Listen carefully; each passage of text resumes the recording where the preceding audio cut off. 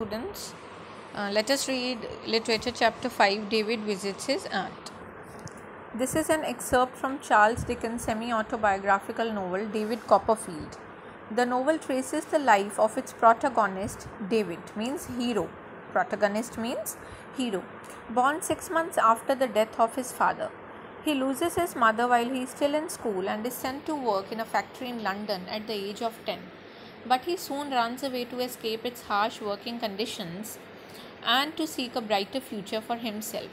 He goes to his great aunt, Miss Betsy, in Dover. Read on to find out what happens when he reaches her house. So, the story is about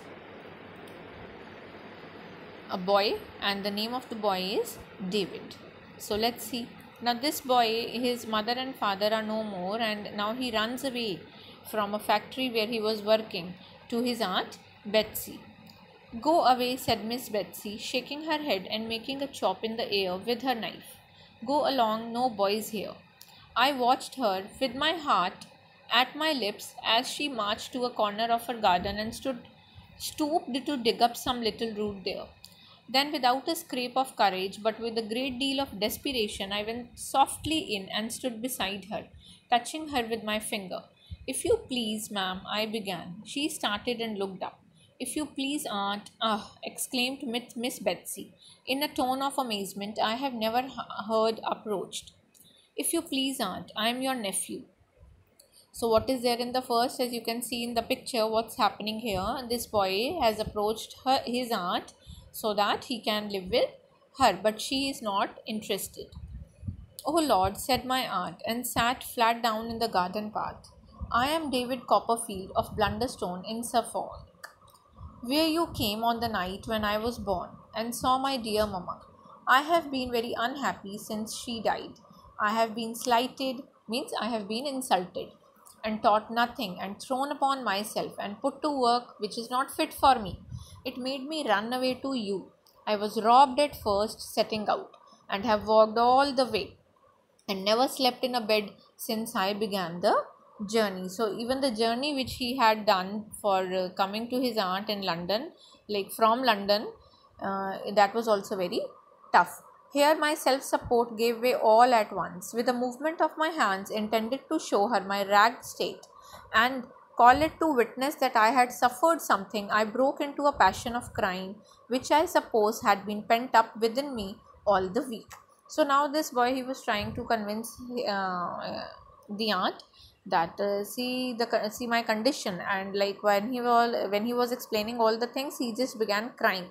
As it was all like all the sorrows and pain which was building up in his heart it came out. My aunt sat on the gravel means on the stony path staring at me until i began to cry when she got up in a great hurry and took me into the parlor means inside where there were so many things uh, like lying down of eating and drinking. Her first proceeding there was to unlock a tall press, bring out several bottles, and pour some of the contents of each into my mouth. So, what she did, she took him in and she opened a lot of bottles and like little bit of drinks she was putting in his mouth from every bottle. I think they must have been taken out at random, for I am sure I tasted aniseed water anchovy sauce and salad dressing.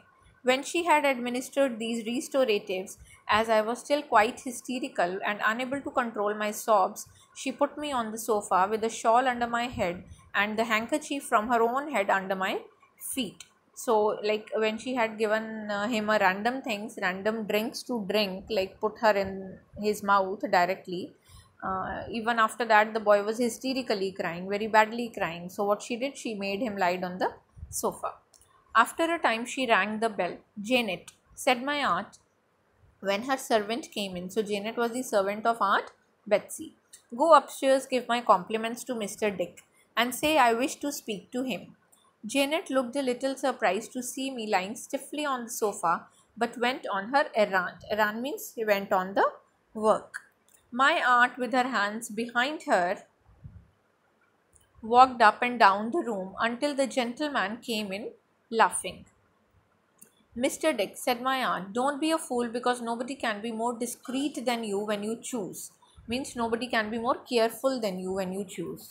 so like now he she wanted to give him some uh, task something to choose from we all know that so don't be a fool whatever you are the gentleman was serious immediately mr dick said my aunt you have heard me mention david copperfield now don't pretend not to have a memory because you and i know better david copperfield said mr dick who did not appear to me to remember much about it David Copperfield. Oh, yes, to be sure. David, certainly. Well, said my aunt.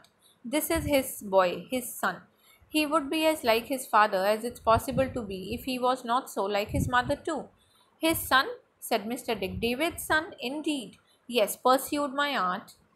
And the question I put to you is, what shall I do with him? So, this uh, Miss uh, uh, Betsy introduced David to Mr. Dick and asked, What should I do with him?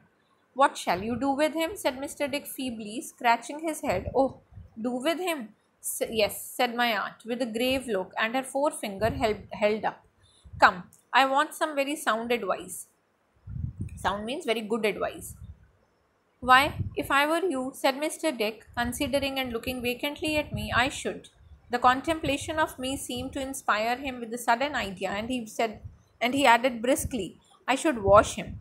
Janet, said my aunt, turning round with a quiet triumph, which I did not then understand. Mr. Dick sets us all right. Heat the bath. So Mr. Dick gave the idea to the lady that you should give this boy a bath first. The bath was a great comfort, for I began to be sensible of acute pains in my limbs. Limbs means hands and legs. From lying out in the fields, and was now so tired and low that I could hardly keep myself awake for five minutes together.